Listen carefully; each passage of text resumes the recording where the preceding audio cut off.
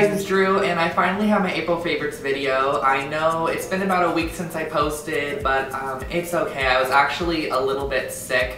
Uh, sick to the point of where I couldn't even order a Starbucks drink. I was going in and I couldn't even speak. Like I literally lost my voice for a good three days. Um, thankfully I didn't have any oral presentations or anything during school. I didn't have to speak in like classes or anything.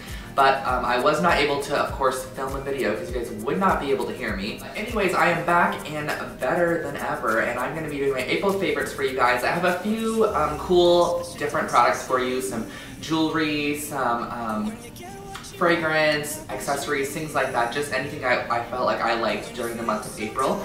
And let's just get right into the video. So the first product or item is this Versace fragrance. I have had this for a long time. I actually probably got it when I was in 11th grade, my first one on a cruise, and I used it all up and I didn't repurchase it till pretty recently but I am obsessed with this Versace fragrance. I, I got it and I love it. It literally smells so good. There's no way I can explain it.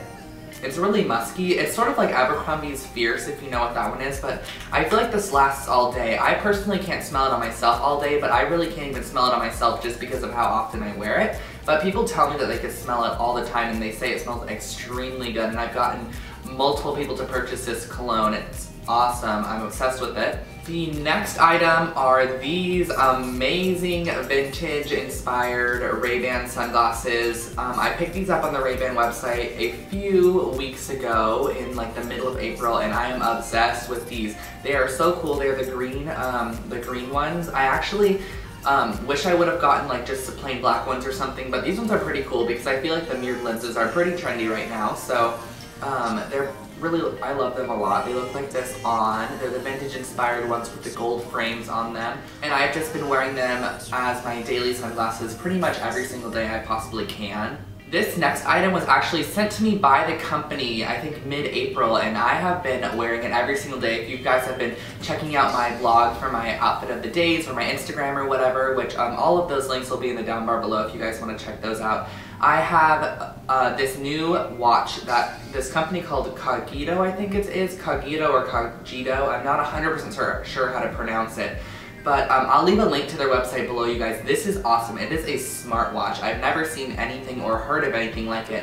But basically, you link it up through, via Bluetooth to your iPhone using an app that you download, and it will actually notify you if you have a call, if you have a um, email, if you have a calendar event, a text message, anything, it'll sort of vibrate on your wrist a little bit.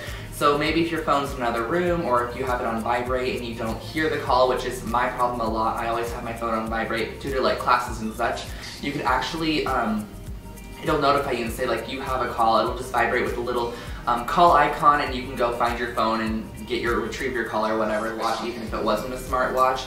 So um, it's black, and I know that they have white, and they also have another collection called like ColourPop or something that has multiple different colors, but it's black, and you can click the little buttons on it, and it will change between the date and a actual digital clock, and it also has like an analog clock on it as well. So it has all these really cool features. I'm obsessed with this watch. Next are some rings I actually picked up at H&M and these are really cool. They're like midi rings. I've never been a fan of midi rings just because I think they're really feminine, but recently I've been into them. I don't know why. And I'm not sure if you guys can really even see these. Probably not. I'll have a close-up of them.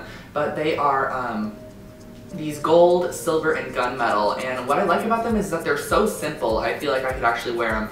Some of them, some of the rings that I see are just have little hearts on them or little um, like rope spirals and I wanted something that was really really plain and simple. I got all of these rings for literally $4 at H&M and they are all different shapes and sizes. So I've also been obsessed with long necklaces. I only have one at the moment and you guys have probably seen this one. It's this one that I purchased from Urban Outfitters and it's from their Union um, collection I believe and it's just this arrowhead and I have literally worn this almost every single day and I want more necklaces so I can layer them. Jewelry has just been really popular for, or like I have been really interested in it in the month of April and going into the month of May right now. It's just been something that I've really been liking to layer and add a lot of to my outfits.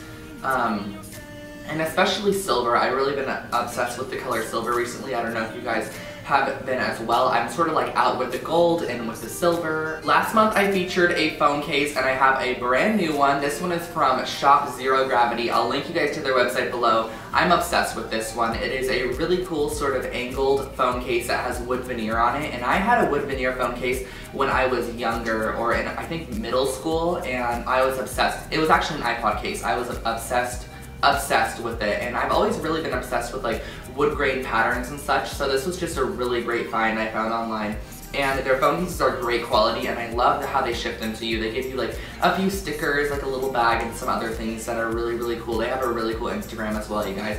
So definitely check out their website. And my last physical favorite this month are these cutoff shorts I got at Forever 21. I am obsessed with these. I have worn them multiple times. I featured these in my spring haul that I did um, a few weeks back and they're just little tiny cutoff shorts that I got for I think $12.80 and they're the only shorts, cutoff shorts that I actually feel like I can wear. A lot of them just um, are really, really too tight. I'm not sure, but I will um, put a picture up here, you guys, as well of me wearing them in one of my past Instagram photos, outfit of the days.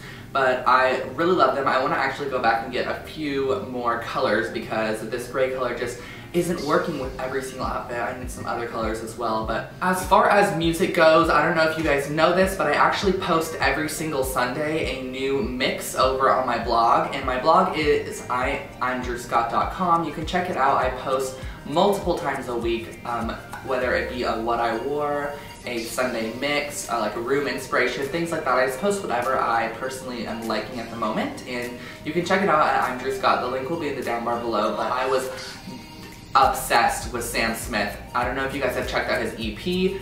Definitely give it a play on Spotify or iTunes. It is amazing. It's just one of the best EPs I think I've ever heard. So I hope you guys enjoyed this video. Don't forget you can also follow me on Instagram and Twitter at I'm Drew Scott. You can also check out my lifestyle slash fashion blog which I post on multiple times a week at imdrewscott.com and you can subscribe to this channel if you enjoy these videos. Give this video a thumbs up. It always helps. Thank you guys so much for thumbsing up the video and leave a comment with what you guys would like to see or what was your favorite um, favorite for the month of April. So thanks so much for watching guys and I'll catch y'all next time. Bye everybody.